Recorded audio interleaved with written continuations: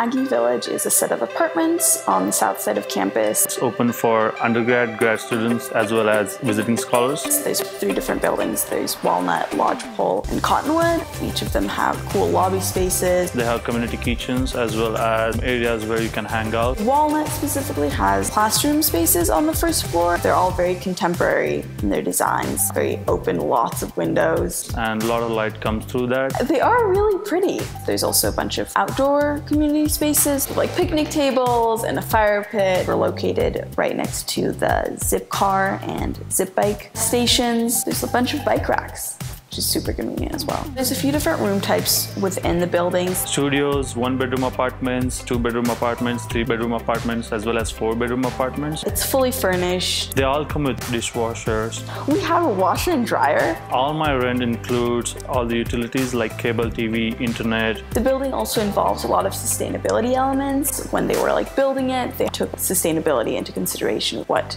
materials they used. They have LEED gold certification. And there's neat plaques around the building that explain like, oh, you know, this feature is sustainable. There are lots of events going on each week. They have yoga classes, watch parties for different games, music nights, and movie nights. We have a book club, all sorts of programs to build community and bring people together. The resident population within the building is really diverse. They're one of the best parts of living here.